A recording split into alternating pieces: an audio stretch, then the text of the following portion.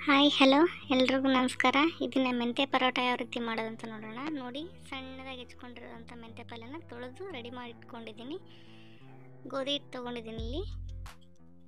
ನೋಡಿ, ಉಪ್ಪು, ಸ್ವಲ್ಪ ಖಾರ, ಸ್ವಲ್ಪ ಅರಿಶಿನ ಪುಡಿ, ಸ್ವಲ್ಪ ಕರಿಮೆಣಸು, ಕರಿಮೆಣಸಿನ ಸಣ್ಣ ಕುಟ್ಟ ಕುಟ್ಟಿ ಹಾಕ್ಕೊಂಡಿದ್ದೀನಿ ಸ್ವಲ್ಪ ಹೋಮ್ ಕಾಳು, ಸ್ವಲ್ಪ ಬಿಳಿ ಎಳ್ಳು. ಸ್ವಲ್ಪ ಜೀರಿಗೆ ಹಾಕ್ಕೊಡ್ರಿ ಸ್ವಲ್ಪ ಸಣ್ಣಗೆ ಹಚ್ಚಿರುವಂಥ ಕೊತ್ತಂಬರಿನ ತೊಳೆದು ಹಾಕ್ಕೊಳ್ಳಿ. ಎಲ್ಲನೂ ಚೆನ್ನಾಗಿ ಮಿಕ್ಸ್ ಮಾಡಿ. ಹಾಗಾದರೆ ಖಾರ ಉಪ್ಪು ಎಲ್ಲ ಚೆನ್ನಾಗಿ ಹೊಂದ್ಕೊಳ್ಳುತ್ತೆ ಖಾರ ಉಪ್ಪು ಎಲ್ಲ ಚೆನ್ನಾಗಿ ಹೊಂದ್ಕೊಳ್ಳುತ್ತೆ ಒಂದಕ್ಕೊಂದು. ನೋಡಿರಿ ಈಗ ಸ್ವಲ್ಪ ಎಣ್ಣೆ ಹಾಕ್ಕೊಡ್ರಿ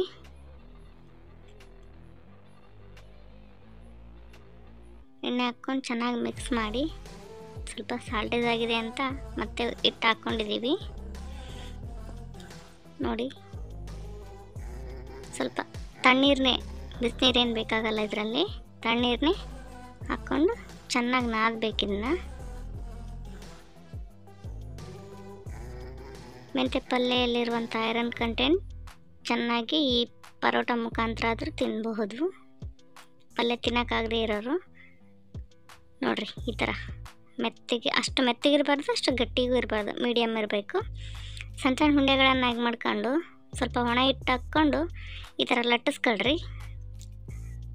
ನೋಡಿರಿ, ಸುತ್ತಲೂ ಸ್ವಲ್ಪ ತೆಳ್ಳಗಾಗಿ ಇರಬೇಕು.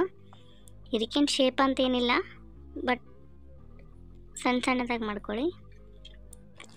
ಒಂದು ಹೆಂಚು ಇಟ್ಕೊಂಡು ಅದ್ರ ಮೇಲೆ ಮಾಡಿರುವಂಥ ಪರೋಟನ ಹಾಕ್ಕೊಳ್ಳಿ. ಒಂದು ಬಟ್ಟೆ ತೊಗೊಂಡು ಆ ರೀತಿ ಮಾಡಿರಿ. ಯಾಕೆ ಅಂತಂದರೆ ಸ್ವಲ್ಪ ಮುರಿಯಲ್ಲ ಡ್ರೈ ಆದ್ರೂ ಸ್ವಲ್ಪ ಬೆಂದಿದ ತಕ್ಷಣ ಟರ್ನ್ ಮಾಡ್ಕೊಂಡು ಆಯಿಲ್ ಹಾಕ್ಕೊಳ್ರಿ. ಮತ್ತು ತಿರುವಾಕ್ರಿ ತಿರುವಾಕಿದ ತಕ್ಷಣ ಸ್ವಲ್ಪ ಇನ್ನೊಂದು ಸ್ವಲ್ಪ ಎಣ್ಣೆ ಹಾಕ್ಕೊಳ್ರಿ. ಸ್ವಲ್ಪ ಎಣ್ಣೆ ಜಾಸ್ತಿ ಹಾಕಿದರೆ ಚೆನ್ನಾಗಿರುತ್ತೆ. ಜರ್ನಿ ಟೈಮಲ್ಲೆಲ್ಲ ಮಾಡ್ಕೊಂಡು ಹೋಗೋಕ್ಕೆ ಚೆನ್ನಾಗಿರುತ್ತೆ. ತ್ರೀ ಫೋರ್ ಡೇಸ್ ನೋಡಿರಿ. ಮೆಂತೆ parotta ready thanks for watching thank you